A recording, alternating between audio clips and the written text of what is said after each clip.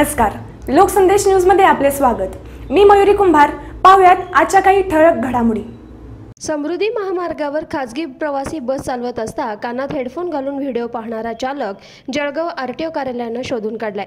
Jalgaon RTO कार्यालयाचे उपप्रादेशिक परिवहन अधिकारी श्याम लोही यांच्यासह त्यांच्या पथकानं संबंधित खासगी बस चालकावर कारवाई केली असून सदरची खासगी बस जप्त केली आहे. चालकाविरुद्ध पोलीस ठाण्यात गुन्हा दाखल करण्यात आला.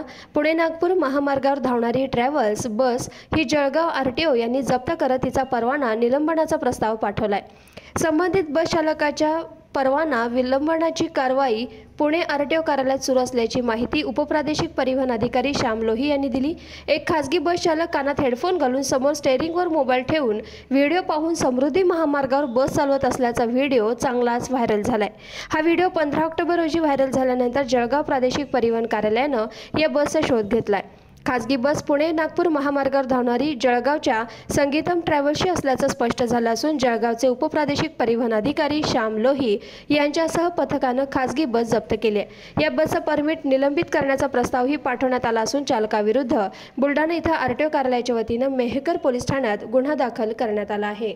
मी जळगाव डेप्युटी श्याम लोही सर्वांना मी सांगू इच्छितो की परवा पंधरा तारखेला जो व्हिडिओ व्हायरल झालेला होता त्यामध्ये समृद्धी एक्सप्रेस हायवेवरती बस ल- जी काही स्लीपर बस होती एम एच एकोणावीस सी एफ पंचावन्न बावन्न क्रमांकाची या बसचा जो वाहन चालक आहे तो मोबाईलवर एक मूवी बघताना तो बस चालवताना आढळून आलेला आहे. या प्रकरणात आम्ही सध्या हे वाहन आम्ही ताब्यात घेतलेलं आहे.